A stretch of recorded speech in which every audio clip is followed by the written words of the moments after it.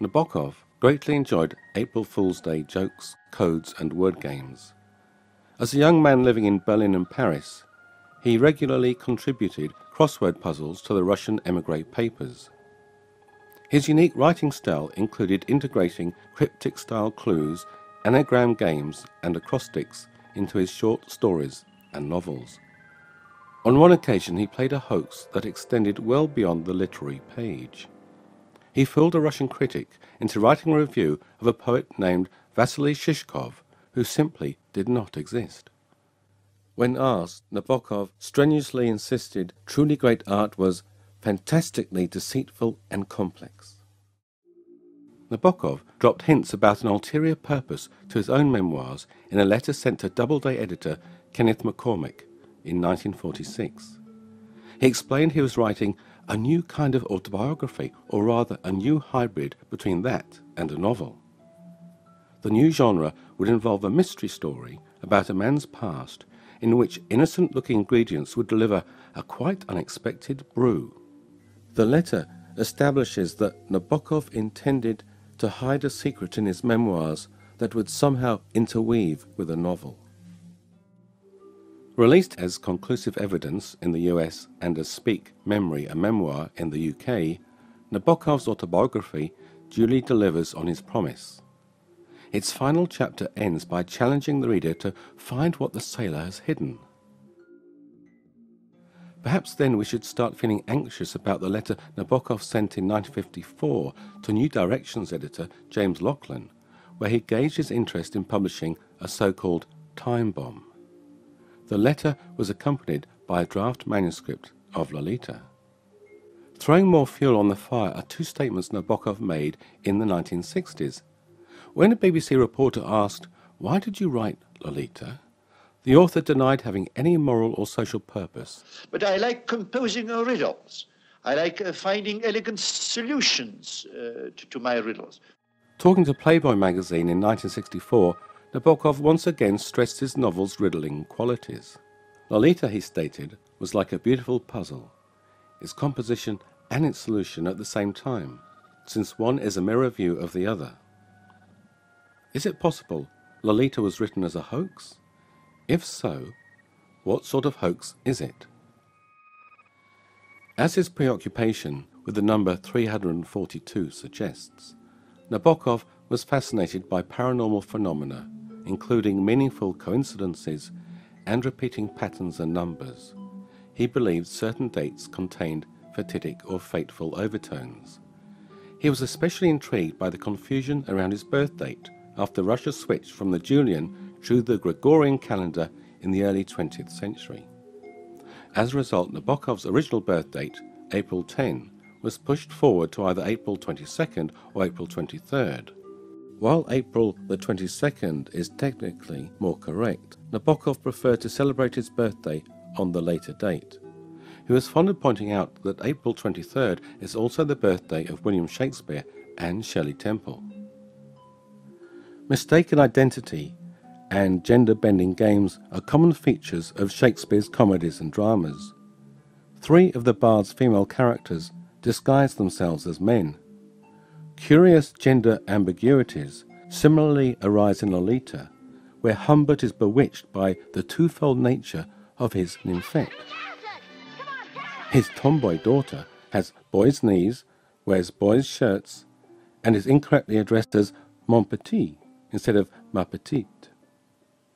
At the Enchanted Hunters Hotel, Humbert compares Lolita to an immortal daemon disguised as a female child. He later allows Lolita to participate in a school play on the proviso that male roles are taken by females. We move a step closer to solving Nabokov's riddle when we notice how the author made a surprising personal appearance within Lolita courtesy of a thinly disguised anagram game. He is Quilty's silent mistress, Vivian Darkbloom. Vivian's puzzling presence is heightened by the identity question posed by Quilty's name. In the French language, Quilty or Quilty asks, Who is he to you? The air of mystery surrounding Vivian and Quilty's relationship is compounded by the theatrical prompt linking Lolita to Nabokov's own memoirs. In Lolita's foreword, the reader is told Vivian Darkbloom has written a biography entitled My Cue.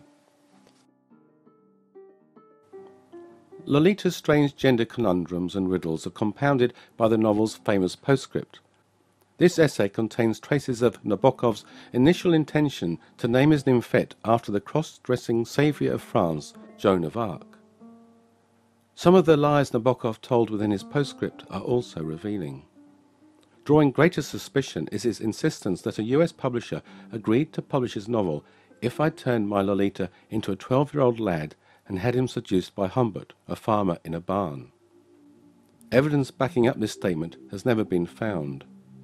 Vera Nabokov's biographer, Stacy Schiff, conducted several fruitless searches about this matter in the Nabokov archives. In the end, she concluded no US publisher ever suggested that the author transform his 12 year old into a boy or Humbert into a farmer, as Nabokov later claimed. The unanswered questions raised by Lolita demand careful appraisal of the profile Nabokov provides within his memoirs of his effete and very flamboyant uncle, Vasily Ivanovich Rukavishnikov. Uncle Ruka was employed as a diplomat in the Tsarist Foreign Service. His residence in Russia was a colonnaded mansion located not far from the Nabokov's summer estate Ruka was a flashy dresser and talented musician who loved logic, word games, and excelled at breaking codes. Within Speak Memory, Nabokov recalled testing his uncle with the numerical equivalent of Hamlet's famous soliloquy. Ruka deciphered the code in a flash. Ruka shares several striking traits with Humbert. Like Humbert, Ruka was an erudite, scholarly dandy whose preferred language was French. He experienced some difficulties with speech and pronunciation. Like his literary incarnation, Ruka died of heart failure when he was only 42 years old. Is it mere coincidence that the age gap between Ruka and Vladimir is identical to that between Humbert and Lolita? Ruka was a regular visitor at Vyra. He singled Vladimir out for special attention, bestowing gifts upon his favourite nephew, such as the Buster Brown novels and Foxy Grandpa comics. Ruka was more than a bit besotted with his handsome young nephew. Within Speak Memory, Nabokov described how his uncle would fondle him and murmur endearments in his ear. The possessive manner Ruka displayed towards Vladimir is very evident in the family photo taken in 1907. We can see he has a rather firm grip on his nephew's hand and is pressing up against him, forcing Vladimir into a half sitting position on his knee. Ruka had a reputation for engaging in inappropriate sexual behavior. The peasants living on his estate christened him with a crude Russian nickname meaning the bottom feeler. Within his memoirs, Nabokov recalled how Ruka would sometimes pretend to give him a present while placing a green leaf in his hand and stating, Pour vous, mon neveu, la chose la plus belle au monde, une feuille verte. This outwardly innocent scene should ring alarm bells, as green leaf seems to be a code once used by the pedophile community. Throughout the 1960s and 1980s, the San Diego based imprint Greenleaf Classics published various pulp fiction novels laced with incestuous and pedophilic themes. Nabokov made apt use of the ominous metaphor in his writings. A fragment of green leaf sticks to Emmy's front teeth as she dances flirtatiously around Cincinnatus's cell. In The Enchanter, Maria has a shriveled leaf stuck in her hair, which Arthur tries to pluck out. Humbert laments that the now mature Lolita is only a dead leaf echo of the nymphet he used to roll on. While discussing the difficulties of translation, Nabokov once unnecessarily instructed, a red autumn leaf is a red autumn leaf is a red autumn leaf, not a deflowered nymphet. Within Speak Memory, he vividly recalls how his uncle Ruka once composed a French romance song describing leaves of violent colours. He sang out loud for all to hear, accompanying his high tenor voice at the piano. The scene eerily prefigures the encoded Wonderland song found in Curly this haunting memory was arguably revisited in Lolita when Quilty plays his final frantic chords at the piano. Coincidences like these help explain Nabokov's delight at sharing his birthday with Shakespeare and Shirley Temple. In solving Nabokov's Lolita riddle, Joanne Morgan has argued that the riddles surrounding Lolita's gender and Quilty's identity are ultimately answered by the literary games that connect Lolita to Bend Sinister. Completed immediately prior to Lolita, in Bend Sinister, Nabokov alludes to a Shakespearean conspiracy that implicates libraries and scholars alike in a massive public hoax. The main character, Adam Krug, is the sole guardian of an eight year old boy named David. Despite his scholarly, heroic ways, Krug has lecherous designs on his underage housemaid Mariette. Foreshadowing the plotline of Lolita, he imagines Mariette sitting in his lap during the rehearsal of a play in which she was supposed to be his daughter. Another clue connecting Lolita to Bend Sinister is established when Humbert sends a telegram booking a room at the Enchanted Hunters Hotel. The simple task throws Humbert into an identity crisis. At the same time, Lolita's status shifts from a daughter into a gender neutral child. What shall I put? Humbert and daughter? Homburg and small daughter? Homburg, and immature girl, Homburg and child. The droll mistake, the G at the end, which eventually came through, may have been a telepathic echo of these hesitations of mine.